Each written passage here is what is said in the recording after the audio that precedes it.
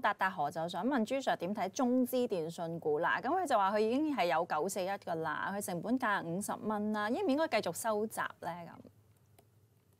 咁九四一，我覺得收集咧就啊、呃、就無區嘅，我覺得。咁、嗯、因為最主要嗰個原因就係話，其實佢第一佢已經喺個業績會裏邊係明確地講咗係會誒增加嗰個係所謂派息比率啦。OK 嚇，佢冇話增加股息，不過佢話係增加派息比率。咁但係問題就係話呢個潛台詞咧，如果你係增加所謂嗰個派息比率咧，其實以中國移動嘅角度咧，就係、是、同增加派息咧就係冇乜分別㗎啦。呢、這個因為其實 expect 佢個盈利咧已經再唔會倒退不特止咧，而且係應該係有溫和嘅增長嘅，因為其實誒、呃、隨住啦嗰個係所謂嘅 5G 啦都投資咗咁耐啦，咁而家咧六 G 咧又未出嚟喎，亦都短期應該冇人講㗎啦。你 5G 都未成熟，講咩六 G 啫？呢、這個咁啊變咗就係話咧咁樣係好事嚟㗎。你唔好咁快喺度講六 G 咧，就等個 5G 咧係慢慢咁樣有啲時間過去咧，咁我可以令到個 capex 咧下跌啦。咁如果個 capex 係見底下跌嘅話，咁九四咧就會擠翻個盈利出嚟㗎啦嘛嚇。咁而家佢擠個盈利嘅過程咧都開始係進行緊㗎啦，而唔係話將來即